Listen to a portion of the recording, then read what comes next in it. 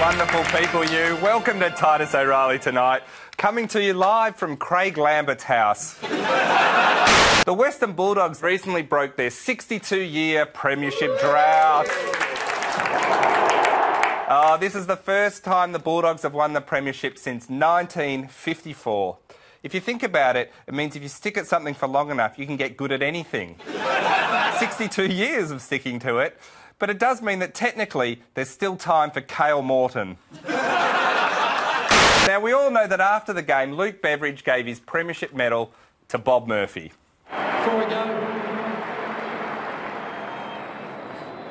I'd like to get Bob Murphy up on the stand.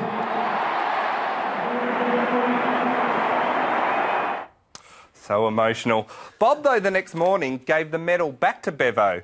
Hey, we've all regretted something that happened the night before. we then had Bevo say, Well, I can't keep the medal either. I mean, what is this medal? It's like responsibility for Essendon's supplement regime.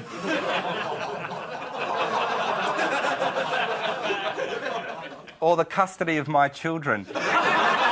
Unbelievably, the age got this one wrong. They couldn't believe it was a premiership and ran this ad. It said, in spite of the disappointment of the grand final loss, the Bulldogs showed incredible heart and sportsmanship.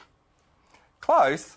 It's the, it's the age's biggest stuff up since 1945 when they welcomed our new Japanese overlords on their front page. In news even bigger than the Bulldogs premiership, Jesse Hogan has signed a two year deal with the Demons. Seriously?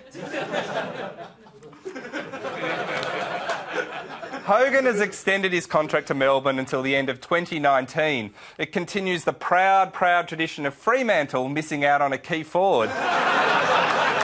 I've been Titus O'Reily. This has been Titus O'Reily tonight. We'll see you next week. This